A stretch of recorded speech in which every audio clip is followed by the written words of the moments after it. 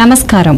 ఈ న్యూస్కి స్వాగతం. చిత్తూరు జిల్లా ములకల్ చెరువు మహిళా వైసీపీ ప్రభుత్వం లక్ష్మి ఎమ్మెల్యే పెద్దిరెడ్డి ద్వారకానాథ్ రెడ్డి వైఎస్ఆర్ చేయుత కార్యక్రమంలో మాట్లాడుతూ రాష్ట్రంలో మహిళలకు ఆర్థిక అభివృద్ధికి సీఎం జగన్మోహన్ రెడ్డి కట్టుబడి ఉన్నారని చిత్తూరు జిల్లా తంబళ్ళపల్లి ఎమ్మెల్యే పెద్దిరెడ్డి ద్వారకానాథ్ రెడ్డి పేర్కొన్నారు.